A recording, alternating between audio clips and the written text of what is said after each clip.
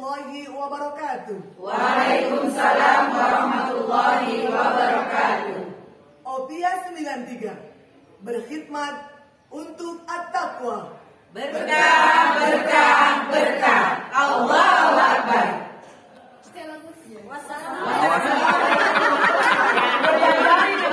Ada dalam Al-Quran Allah menyebut tentang pribadi Rasulullah Sallallahu Alaihi Wasallam.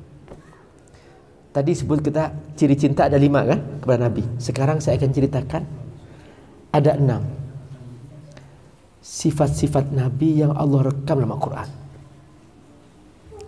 Pertama, Nabi selalu lapang dada. Mohon diingat, coba angkat tangannya semua. Lapang dada. Coba ucapkan lapang dada. Pejamkan mata, lapang dada. Lupakan semua masalah hidup, lupakan semua beban, lupakan, semua hutang, lupakan semua masalah, kesulitan. Coba pegang dadanya, lapang dada. Lapangkan dadamu. Ucapkan. Lapangkan dadamu. Ya, lagi. lapangkan dada Lagi. lapangkan dada Nah, sahabat Opiah rahmakumullah, lapang dada ini kata kunci. Sebuah masalah besar menjadi kecil kalau kita lapang dada. Rumah yang sempit terasa luas kalau kita lapang dada. Rumah yang luas terasa sempit karena sempit dada.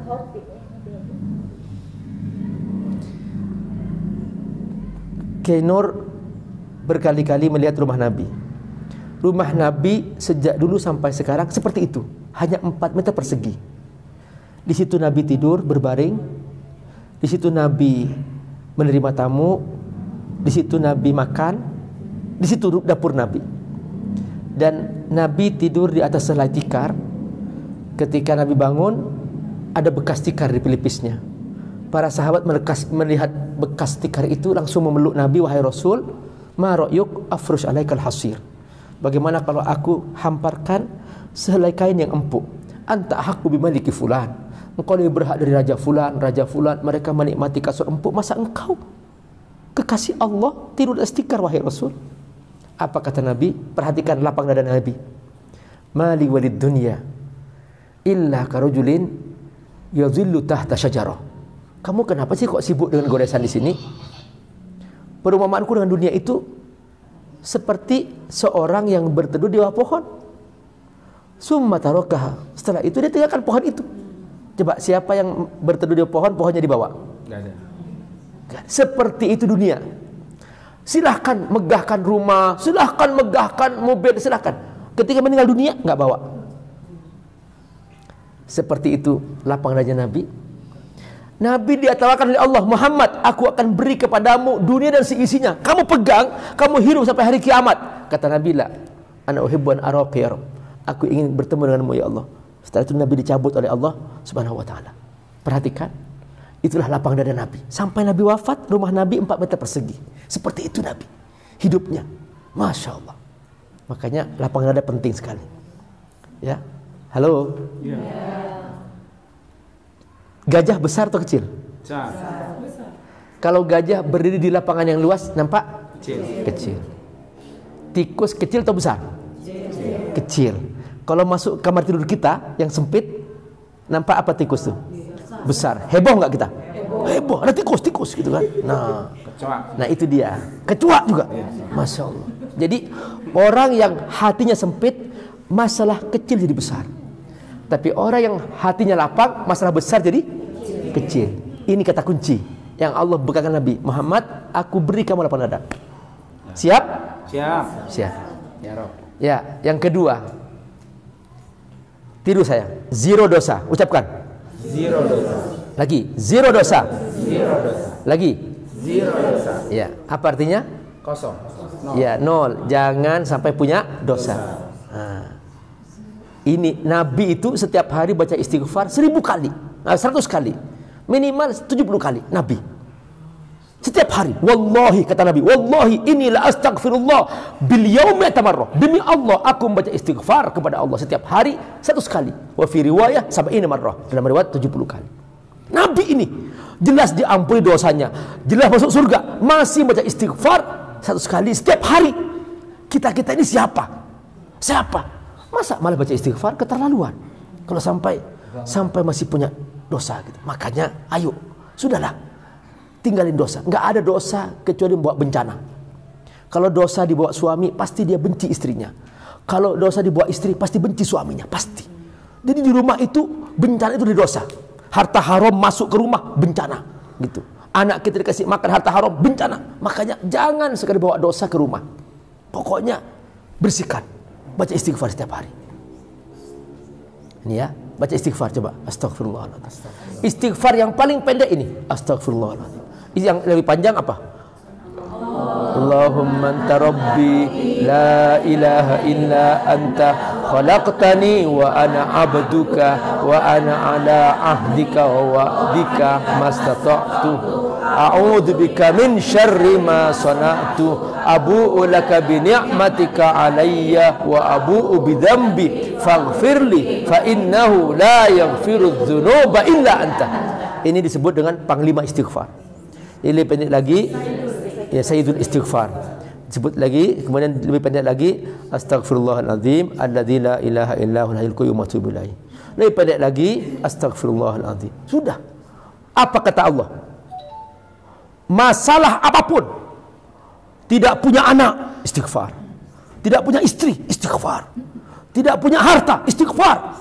Tidak punya uh, apa ya keturunan istighfar. Tidak punya harta istighfar. Benar. Tidak punya suami istighfar. Benar.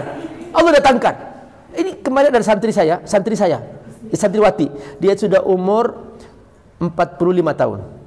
Dan dia sudah nggak punya rahim diangkat rahimnya. Ustadz saya pengen pasangan hidup. Suami saya nggak ada Pak Ustadz saya punya anak tiga Ustaz. Saya nggak tahu gimana caranya. Baca istighfar. Benar. Seribu kali sehari. Benar. Ya Allah, ada seorang anak muda umur 25 tahun melamar dia.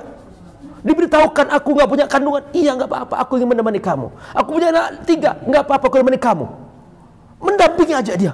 Allah gerakan. Coba masih bujang, ganteng, gagah, mau menemani seorang umur 45 tahun yang sudah dia sudah nggak punya rahim dan subhanallah kekuatan istighfar. Pokoknya istighfar itu luar biasa. Karena yang menentukan Allah gitu. Jadi ada rizki yang terhalang oleh dosa. Tembusannya istighfar. Itu aja. Dibuka pintu oleh Allah setelah istighfar. Makanya baca istighfar. Ibnu Taimiyah itu kalau sudah baca istighfar lagi menghadapi masalah, dia membaca istighfar sampai seribu kali sehari. Itu. Karena Ibnu Taimiyah yastaghfirullah alfa marrah idza wajah alai al-hazan. Ketika menemukan masalah besar, dia langsung baca istighfar seribu kali. Masya Allah, selesai.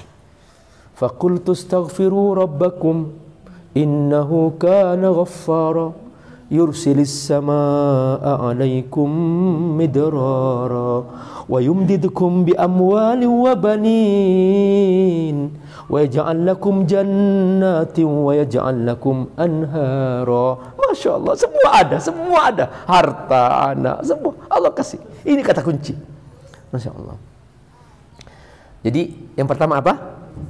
Pegang dadanya, pegang. Lapangkan dada.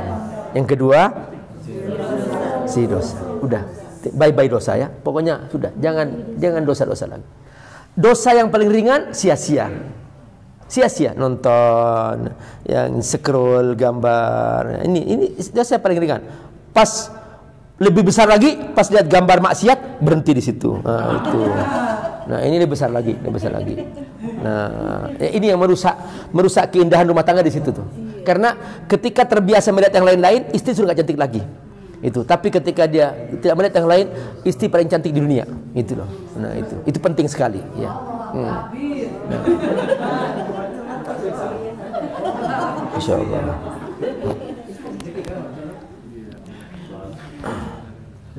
Sudah berapa sudah? Dua. Yang ketiga ya. Lupa. Ya. Ini pengajian sampai sampai kapan nih?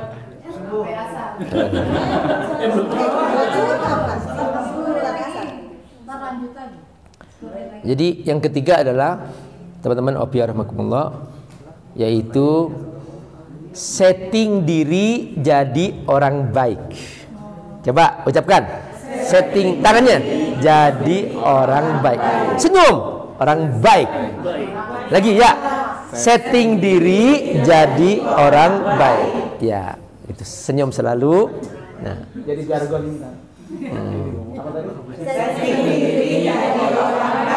yes. Ya, yang pertama. Lapang dada, yang kedua isi dosa, setting diri jadi orang baik. Ini pokoknya jargon opia. Semua enam. Masuk ke siaran langsung. Ah, tahu nggak? Orang yang dikenal dengan kebaikannya pasti Allah buka pintu-pintu kebaikan. Orang kenal saya Ustadz. Setiap telepon Pak Ustadz khutbah nikah. Telepon lagi khutbah Jumat. Telepon lagi pengajian opia. Telepon lagi Pak Ustadz ayo roadshow untuk kemanusiaan di Turki, di Palestina. Masya Allah. Indah banget kan? Nggak ada. Pak Ustadz kedugem yuk. Nggak ada. Sampai sekarang nggak belum pernah ada. Karena sudah ketahuan Ustadz. Gitu. Nih, misalnya Ibu Fulana dikenal sebagai Raja Majlis Taklim. Setiap ada acara, ajak tuh. Fulan, Dia pasti datang. Nah gitu pasti. Tapi kalau Ibu Fulana, jangan jangan diajak. Kalau diajak dia ngomel. Ah, udah. Nah gitu. Resek gitu. Iya resek gitu. Makanya pokoknya bikin orang kenal kita kebaikan kita. Allah akan mudahkan kebaikan-kebaikan itu. Halo? Halo. Siap? Siap. Sudah berapa? Tiga. Ya, ini ringkas-ringkas saja. Yang keempat adalah kerja keras. Ya, kerja keras. Lagi. Kerja keras. Lagi. Kerja keras. Ya. Kayak Bu RT. Iya. Ya. Al-Fatihah Bu RT jadi bupati. Amin. Al-Fatihah. A'udzubillahi minasyaitonirrajim. Bismillahirrahmanirrahim. Alhamdulillah rabbil alamin arrahmanir rahim maliki yaumiddin. Iyyaka na'budu wa iyyaka nasta'in ihdinas siratal mustaqim. Siratal ladzina an'amta 'alaihim ghairil maghdubi 'alaihim waladdallin. Nabi tidak pernah ketinggalan sholat tahajud. Kalau Nabi sakit malam itu nggak bisa tahajud, Nabi mengganti 12 rakaat sholat duha. Dan Nabi setelah sholat tahajud berbaring sebentar dengan pakai tangan kanannya miring ke kanan sebentar sambil menunggu adzan subuh. Pas adzan subuh Nabi langsung sholat subuh. Setelah sholat subuh Nabi nggak langsung ke kamarnya, padahal rumah Nabi berdempet dengan Masjid Nabawi. Tapi Nabi nggak langsung ke kamarnya, menunggu sampai matahari terbit, masuk waktu duha, langsung sholat, dua rakaat duha, langsung pulang ke kamarnya. Begitu pulang ke kamar ke rumah Nabi, Nabi tanya, ada sarapan? Oh ada wahai Rasul. Kami sudah tiga hari nggak makan sama sekali, sudah nggak ada makanan. Kata Nabi kalau gitu aku berpuasa. Makanya boleh puasa sunnah, niatnya sudah waktu duha untuk puasa sunnah. Karena Nabi sudah sering berniat karena nggak ada sarapan pagi-pagi itu. Terus Nabi berpuasa. Nabi pekerjaan sehari-harinya setelah waktu duha, setelah sholat duha, Nabi langsung keliling kepada para istrinya. Dan Nabi mengecup keningnya dan mendoakan. Perhatikan, setiap pagi. Terus nanti waktu duha, Nabi keliling lagi kepada para istrinya dan Nabi juga mengecup keningnya dan mendoakan. Setelah itu Nabi kembali ke rumah yang istrinya, yang gilirannya. Malam hari semua istri berkumpul di rumah tempat giliran yang istri Nabi dan berkumpul setelah itu mereka kembali ke kamar mereka masing-masing dan mereka semuanya uh, istirahat. Setiap hari Nabi kecuali dalam waktu perang. Ini ada orang dia istrinya satu nggak pernah kecup keningnya sama sekali. Ini keterlaluan. Nah,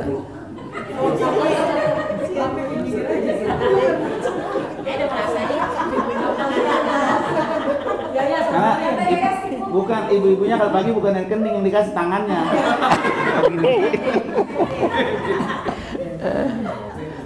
nah. Tuh, ulang tahun. Itu namanya suami semua uang untuk istri. Apa? Semua uang milik istri. Iya, suami semua uang milik istri. Oh, betul. Doang. Ah. Masya Allah luar biasa.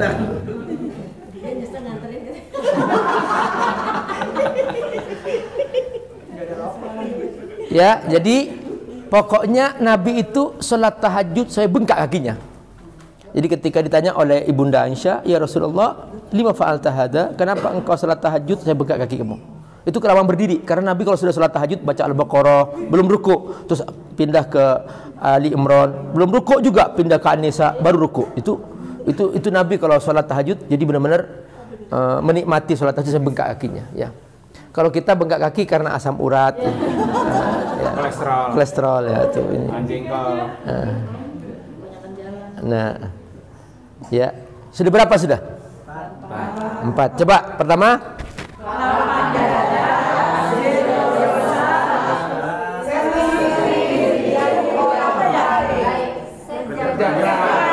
Kerja keras. Kayaknya kurang kompak deh. Ya coba pertama ya.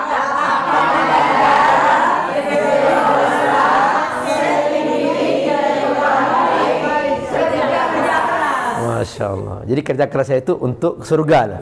Untuk surga. Kalau dunia, kalau dunia sudah jatahkan. Dunia sudah jatahnya, kita bekerja sesuai kemampuan kita. Tapi kalau soal akhirat, i'mal di dunia ka ka'annaka ta'ishu abada wa mal li akhiratika ka'annaka tamutu wada. Jadi kalau akhirat kita seakan-akan mati besok pagi. Wah, nggak boleh kita istirahat. Tapi kalau untuk dunia leha-leha nyantai aja. Karena kita masih panjang hidup. Nyantai aja. Nggak usah ngoyo. Nggak usah ngoyo. Ya, jangan masukin hati dunia itu. Makanya kalau dunia masukin hati jadi masalah. Dunia itu di tangan. Allahumma la taj'alid dunya fi qulubina bal ij'alha fi aidina. Ya Allah jangan sampai urusan dunia masuk ke hatiku. Biarkan di tanganku. Lepas lepas, hilang hilang. Dunia ini tabiatnya apa? Datang dan pergi. Datang pergi. Datang makanya masukin hati sudah sakit hati kita. Makanya jangan masukin hati dunia itu. Nah itu urusan dunia seperti cara menyikapinya. Yang kerja keras untuk apa? Untuk akhirat. Halo, Halo. masih fokus nggak nih? Masih. Masih fokus nggak nih? Masih. Coba ini apa nih? Mata. Ini apa? Ini Bibir. bener nih? Benar. Iya. Ini? Coba sekarang balik. Ini mulut ya, coba. Oke, kalau saya menyebut ini mulut ya. Oke. Kalau saya pegang ini telinga ya. Fokus ya. Hei. Ini apa? Ini? Ini hidung ya? Oke. Benar? Ya. Coba.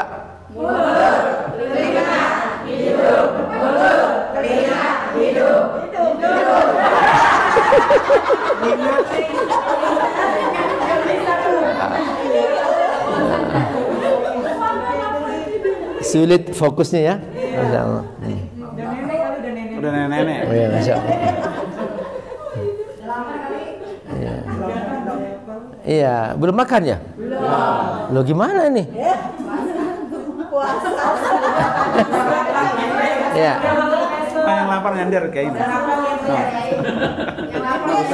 Yang lapar nender. Oh, Masya Allah, Alhamdulillah. Udah hentikan dulu ya, lanjutin nanti. Hah? Makan dulu ya. Ya. Oke. Sudah berapa sudah? Empat. Yang kelima adalah nih tangannya jaga waktu. Lihat, jaga waktu. Ya, jaga waktu. Jangan sampai sia-sia. Coba apa yang kelima? Ya, jadi ingat setiap sia-sia itu dosa. Coba ibu punya pegawai kerjanya sia-sia. Di, dipecat nggak? Pecat. Sama, Allah punya hamba kerjanya sia-sia. Allah pecat dari kehambaannya. Hmm. Nah, Setiap sia-sia dosa. Makanya setiap kali Allah SWT menyebutkan orang ahli surga itu walladzina hum anil lagwi mu'ridun. Ahli surga itu nggak pernah melakukan yang sia-sia. Gitu. Ketika Nabi menyebutkan tentang seorang muslim yang baik, min husni islamil mar'i tarkuhu ma la ya'ni. Seorang muslim yang baik nggak pernah sia-sia dalam waktunya. Makanya pastikan bahwa semua yang kita miliki bermanfaat. ada pahalanya. Sebelum beramal, kerja, lihat ada pahalanya enggak? Enggak ada pahalanya. Udah, jangan tinggal. Jangan kerjakan. Ini ada pahalanya enggak? Oh, ada, kerjakan. Ini ada pahalanya? Enggak ada. Jangan jangan kerjakan. Gitu kita setiap, kali kita mau beramal. Paham? Ingat? Ya, ini terakhir, terakhir. Ya. Ikhlas. Ikhlas. Ikhlas. Ya, artinya apa? Ya. Ya, setiap kali membuatkan minuman untuk suami karena Allah, bukan karena ingin dibeliin mobil Mercy. Ya. Ya, setiap kali pokoknya menyiapkan makanan karena Allah. Ini ibadah, ini surgaku. Jadi kalau ibu mem- membahagiakan suami, maka itu adalah surganya ibu. Surganya ibu. Sekalipun memang kewajiban masak bukan pada istri. Kewajiban masak itu suami sebetulnya. Karena nafkah itu dari mas, dari mentas yang masak itu suami sebetulnya. Makanya zaman Nabi yang masak itu suami. Itu. Itu. Iya. Nah, jadi kalau kalau istri masak itu amal solehnya dia tambahan. Iya, sebagai tambahan. Iya, benar. Jadi makanya insya Allah.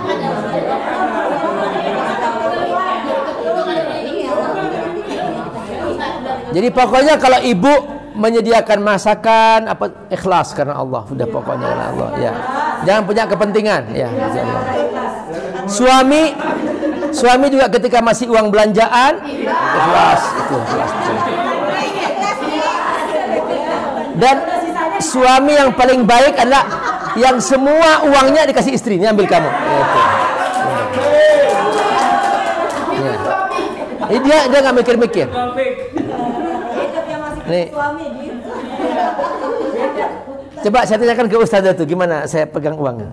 Nah, saya sering keluar nggak pegang uang sama sekali karena dipegang oleh dia. Sering kali kelupaan, sering kali kelupaan. Karena saya sering dijemput orang kan dijemput udah.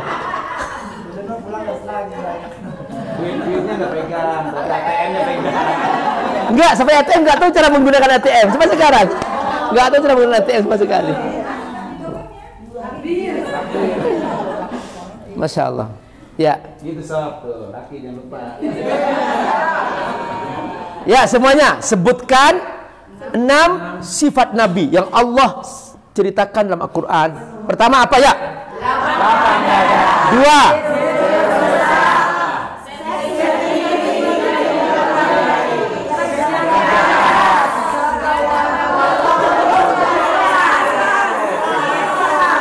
Tahu nggak bu? Inilah kandungan surah Alam Nashrah. Ya, baca sama-sama.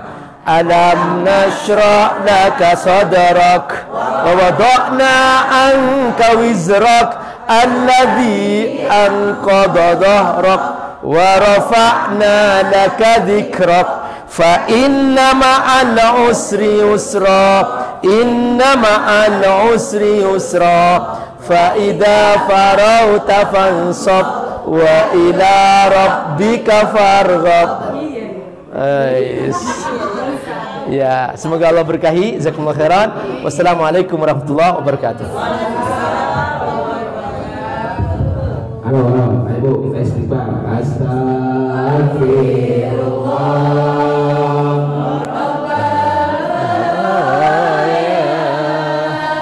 Astaghfirullah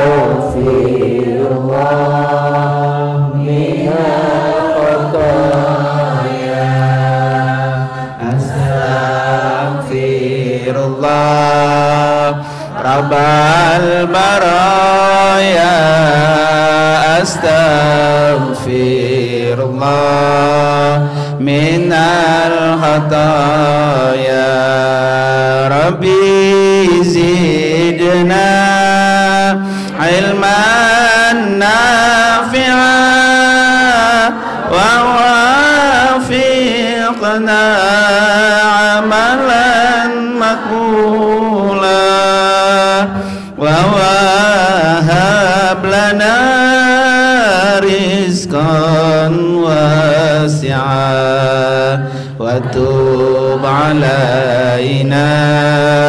توبة نسوها وتوب علينا. توبة نسوها أستغفر الله.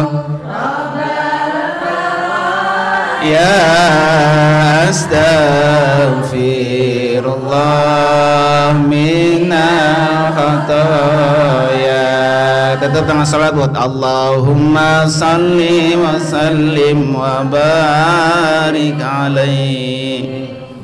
Ya ibu. Semuanya sekarang bayangkan semua bunda abang-abang semua sedang berdiri di depan rumah Nabi. Kita seperti sedang di depan rumah Nabi di Raudhah. Coba bayangkan sekarang ya. Coba ucapkan salawat dengan sepenuh hati. Jazakumullah khairan. Assalamualaikum warahmatullahi wabarakatuh. Waalaikumsalam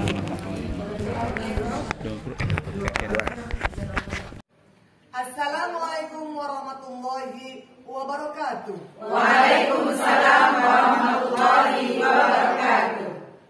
Opia 93 berkhidmat untuk at-taqwa.